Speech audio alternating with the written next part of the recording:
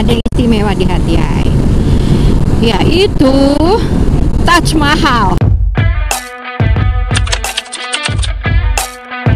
Selamat pagi Sobat Motorade, jumpa lagi di channel YouTube M8 Nusantara.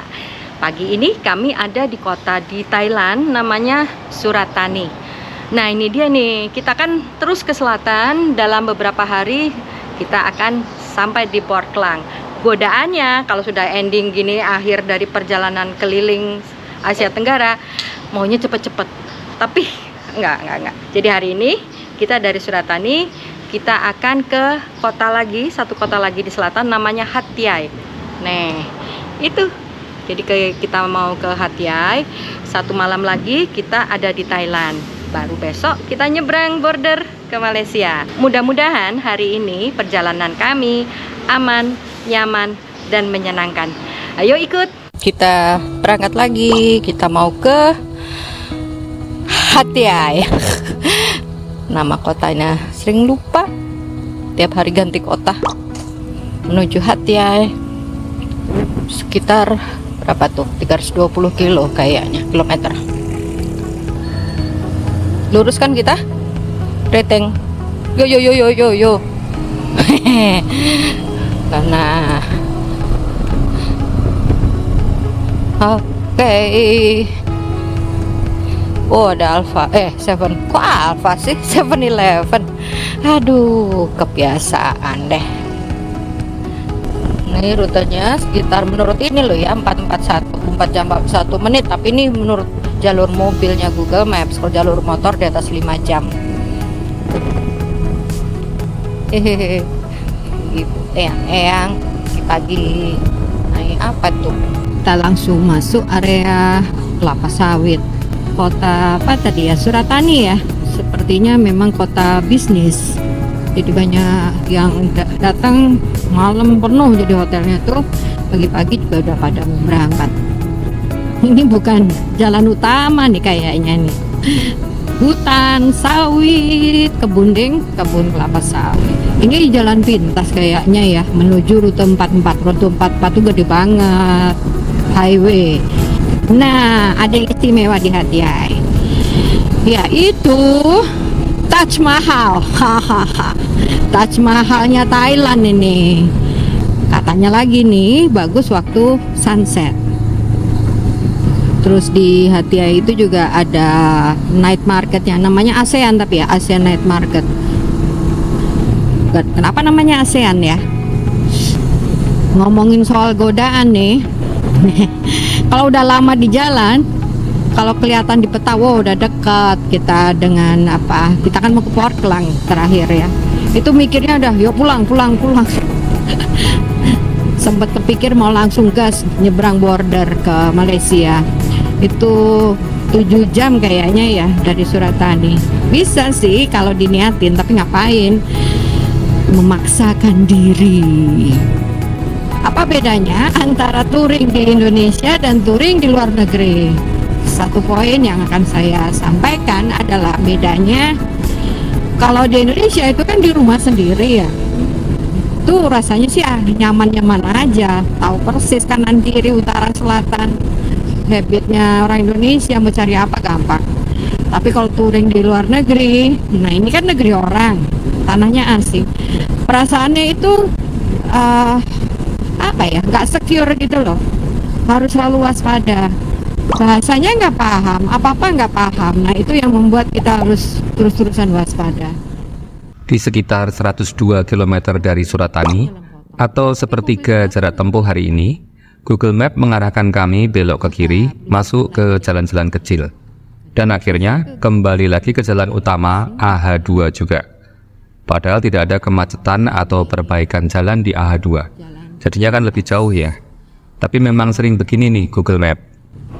Sobat Motorit kita diditurkan oleh Google Map dari jalan highway ke jalan perkebunan. Saya nggak tahu kenapa tapi asik juga jalannya. Kalau di highway capek juga. Kena angin terus crosswind buffeting aduh capek. Nah depan ini harusnya bel oh itu ada belokan kanan tuh. Gede. Tuh kamu sih deh. Kosong kosong. Kosong. Mari kita belok orang lah malah masuk. Wih, cakep. Keren. Menyenangkan loh. Ini di trek seperti ini eh, 3,3 km 3 km lah. Sebelum kembali ke AH2 jadi kita jalan pintas ya bener ini ya? Iya mungkin lebih jauh kalau AH2 ini. kenapa nggak terus ke AH2 saya nggak tahu. Tapi cakep pemandangannya. Ternyata hutan kelapa sawit bisa menyenangkan loh. Bisa dibikin ditata cantik. Untuk riding atau sepedaan ini enak ini keluar masuk hutan Oke, jalan tanah sedikit. Lah, masa mobil lewat sini? Wah, ini kacau ini. mulai ngaco Ngapain lewat aduh sini ya? eh, iya eh, eh, eh. Iya. Banyak yang tertipu Google. selalu nih Google bikin acara ini depan kita ke kiri harusnya ya Iya. balik lagi ke AH2 AH2. AH2 Awas, tuh jalur awas. yang tadi Iya. jalan gede Jadi harusnya kita turun saja tadi Ah,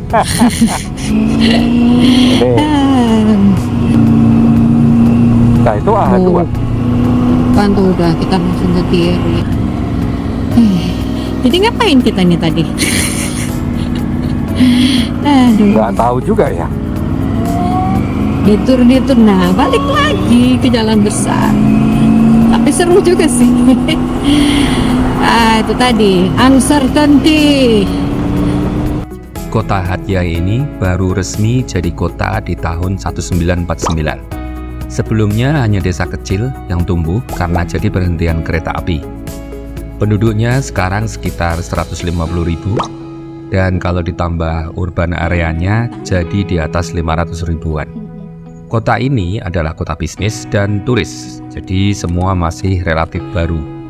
Hatyai ini sangat dekat dengan border Malaysia, sekitar satu jam saja dari border, dan banyak turis dari Malaysia yang main ke sini, jadi cakap Malay sudah sangat umum di sini. Yang unik dari Hatyai adalah musimnya. Karena letaknya lebih dekat ke pantai timur Thailand yang selalu hujan, Hatyai mengalami musim kemarau hanya dari Januari ke April, sedang musim hujannya sangat panjang dari Mei ke Desember. Biasanya nih, banjir terjadi di sekitar bulan Desember. Kemudian apakah aman untuk traveling ke Hatyai? Ya, nanti kita buktikan. Memang ada travel warning yang dikeluarkan pemerintah Thailand terakhir diupdate sekitar 12 Mei 2023 untuk turis agar tidak melakukan perjalanan ke Naratiwat, Patani, Songkla, Yala, dan Hatyai. kita di mana? Oke. Disuruh Eh, dia dia nunjuk ke sini. Satu-satu kita dapat. Masjid ini namanya The Central Mosque of Songkla atau sering disebut Taj Mahal Thailand.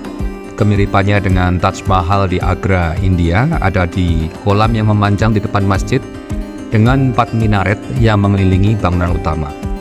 Masjid ini dibangun tahun 2001 dan letaknya di tepi highway yang menghubungkan Songkla dan Hatyai atau sekitar 10 km dari pusat kota Hatyai. Ini adalah salah satu masjid terbesar di Thailand Selatan. Kalau sore begini, suasananya sepi. Aktivitas yang bisa dilakukan di sini adalah beribadah dan duduk-duduk di luar menikmati suasana senja.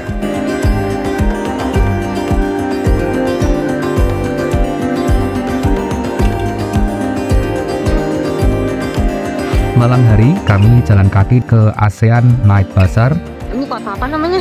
Hatyai. Jadi hampir di setiap kota di Thailand yang kami kunjungi ada night marketnya. Nah, yang di Hatyai ini namanya khusus pakai kata ASEAN. ASEAN Night Bazaar. ASEAN Night Bazaar dinamakan ASEAN mungkin karena lokasinya dekat dengan gedung ASEAN Plaza. Tapi seperti apa di sana? Dan apa bedanya dengan pasar lain, pasar malam lainnya di kota lainnya di Thailand? Sebetulnya karena ini udah deket banget sama border Malaysia, sekitar hanya satu jam riding. Kayak tadi di hotel, mereka bisa bahasa Malay. Kan nyapa dengan bahasa Malay. Padahal mereka orang Thailand.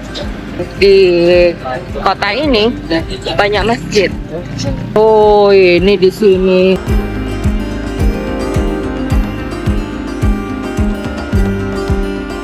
Banyak wanita berjilbab di sini. Kalau di kota lain di Thailand kan hampir nggak ada. Pasar yang buka mulai jam 5 sore ini terdiri dari dua lantai. Bagian bawah lebih fokus ke kios jualan baju, tas, aksesoris, dan lain-lain. Sedangkan lantai dua lebih fokus untuk food and beverage.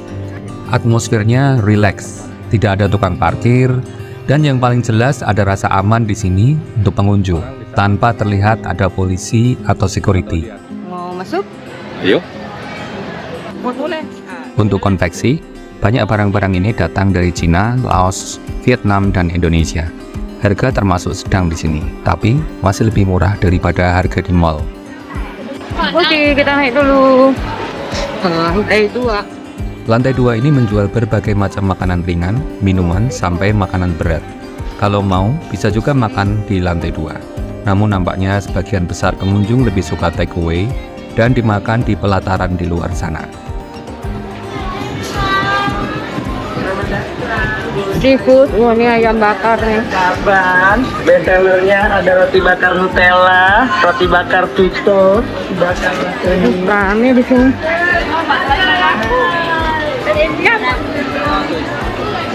Seafood.